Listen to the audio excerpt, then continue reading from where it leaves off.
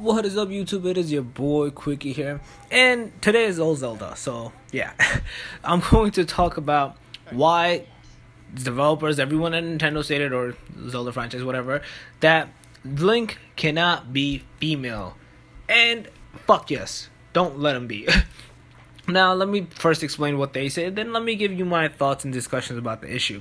They basically said that the team sat down, Nintendo team sat down together to see, oh, can Link be female? They said, no, that's not possible.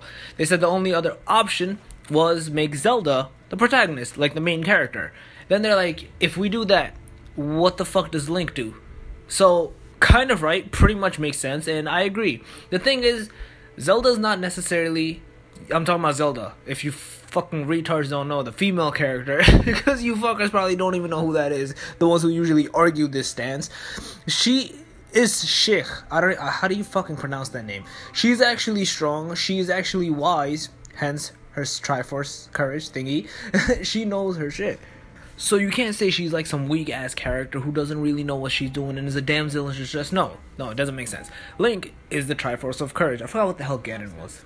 Uh, well, it doesn't matter. Regardless, for now, we're not focusing on that dude because no one cares about him being a girl. No one cares about Zelda being a male. Just exact. If you want to be fucked up, do fuck everyone over.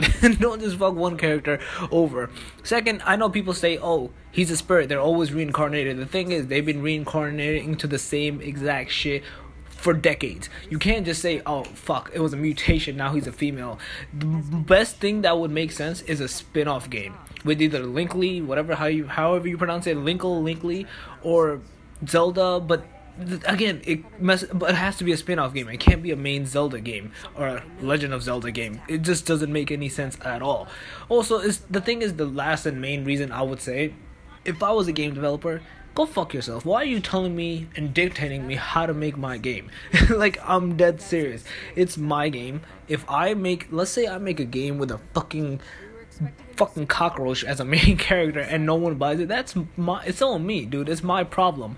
If I make one with a male character, it's and people buy it and let's say apparently half the gamers which are female according to statistics complete bullshit on that or don't buy it. That's on me. I don't want them to buy it. Well not that i don't want them to buy it. This is what i cater to. I don't care about that. If you want to have a female something type of game Make your own fucking game. The thing is, there's millions of other games out there. Terrible example. Terrible number, I mean. There's thousands or hundreds of games out there with female main lead characters. And you guys are like, nah, that's not enough. We want more. Why would you uh, make a new game, dude? There's always, dude, Horizons. They're uh, beautiful. I freaking love that character. It's just awesome. There's so many other characters that are female leads and they're fucking badass.